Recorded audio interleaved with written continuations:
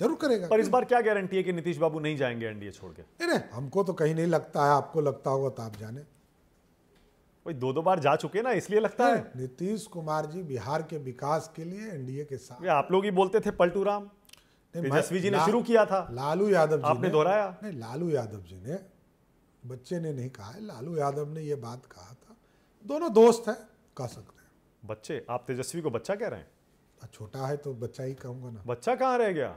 अरे अब तो बहुत छोटा है। अरे। इसलिए बच्चे कहता हूँ। बिहार में योगदान बताइएगा। बिहार में विधानसभा में सबसे बड़ी पार्टी है आरजेडी। आज मैं हूँ।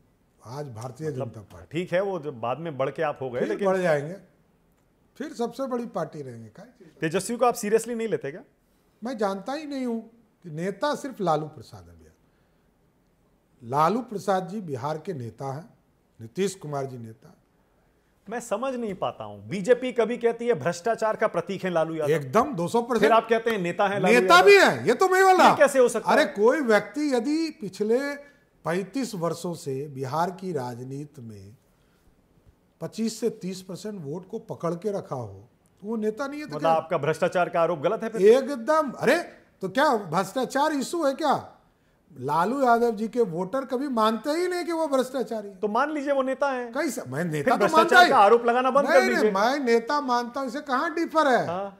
मैं क्या पूरा देश लालू जी को नेता मानता तो हूँ। भ्रष्टाचार का मुद्दा फिर खत्म हो गया ना। लेकिन डिस्ट्रक्टिव मोड में डिस्ट्रक्टिव मोड में not in a positive mode वो आदमी इस बिहार को लूटने वाले गरीबों के नौजवान का पैसा लूटने वाले ज़मीन लूटने वाले गरीब जो बेजवान जानवर है उसकी चारा खाने वाले यही है लालू प्रसाद। आज भी लालू यादव तेजस्वी यादव कहते हैं आप बिहार को लालू जी क्या कहते हैं ये जानना चाहता हूँ। और कोई क्या बोलता है उससे बिहार के उत्तराधिकारी हैं तेजस्वी यादव। होगा। नेता वही है अब चेहरा वही है लालू जी कहाँ है? नहीं नहीं लालू जी हैं। लालू जी को हटा दीजिए तो वोट ही खत्म हो जाएगा। इस बार प्रचार में तेजस्वी यादव थे उससे पहले भी तेजस्वी बात यादव कर रहे थे। पूरे चुनाव में लालू जी एक्टिव थे। कितने एक्टिव थे आप भी जानते एकदम मैं बीमार रहते हैं, बुज़ुर्ग हैं। बुज़ुर्ग हैं इससे कहीं डिफर नहीं है। सारा चेहरा बीमार तेजस्वी तो सिर्फ़ बीमार तो सिर्फ़ वो आ, जेल से बाहर आने के लिए होते हैं इससे ज़्यादा कुछ नहीं है।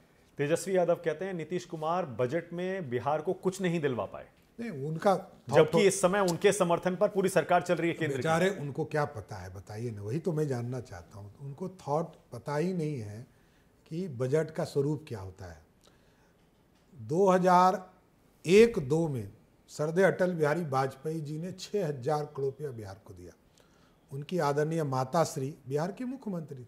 एक रुपया खर्चा नहीं की, चार साल मुख्यमंत्री रही। आदरणीय लालू प्रसाद जी 2004 से लेकर 9 तक इस देश के सबसे बड़े मंत्री और देश के सबसे बड़े इकोनॉमिस्ट भी हो गए थे रेल के डिपार्टमेंट में। एक रुपया बिहार को नहीं दिलवाया। उसके बाद लालू जी के समर्थन से 2014 तक सरकार चली। उसी सरकार ने बिहार को किसी भी रूप में आर्थिक सहायता देने से मना कर दिया। लेकिन जब नरेंद्र मोदी की सरकार आई तो एक लाख पच्चीस हज़ार करोड़ का पैकेज दिया। अभी साठ हज़ार करोड़ का पैकेज मिला और एडिशनल मिल रहे हैं। जो पैकेज मिला है इसको कांग्रेस पार्टी ब्लैकमेलिंग बताती है। अब ये हम नहीं जानते। वो कहती है बजट कांग्रेस में, पार्टी बजट में जेडीयू और टीडीपी ने ब्लैकमेल किया बिहार और टीडीपी को एक्स्ट्रा दिलवाया। बाकी राज्यों से मानक जी अभी आपने कहा कि बिहार को कुछ नहीं मिला। वो तेजस्वी का आरोप नहीं नहीं वही तो मैं कह रहा हूँ। वो तेजस्वी का आरोप वही कहा कि उस बेचारे को पता नहीं है कि बिहार कैसे चलता है। पर तो राष्ट्रीय स्तर पर राष्ट्रीय स्तर पर कह रहे हैं कि हमारे साथ भेदभाव हुआ। बिहार और आंध्र को ज़्यादा मिला। क्योंकि जेडीयू और टीडीपी ने ब्लैकमेलिंग की। नहीं नहीं ऐसा कोई बात नहीं है। बिहार एक भी एक्सप्रेसवे नहीं था। प्रधानमंत्री जी ने चार एक्सप्रेसवे दिया। इसमें दिक्कत क्या है? दूसरे ज़्यादा राज्यों- दिया ना बाकी नहीं, राज्यों नहीं, से। क्यों नहीं देगा? दूसरे राज्यों में एक्सप्रेसवे बन चुके हैं। हमारे हमारे राज्य में बाकी या मजबूरी है इसलिए नहीं दिया। नहीं नहीं ऐसा नहीं है। बिहार गरीब है।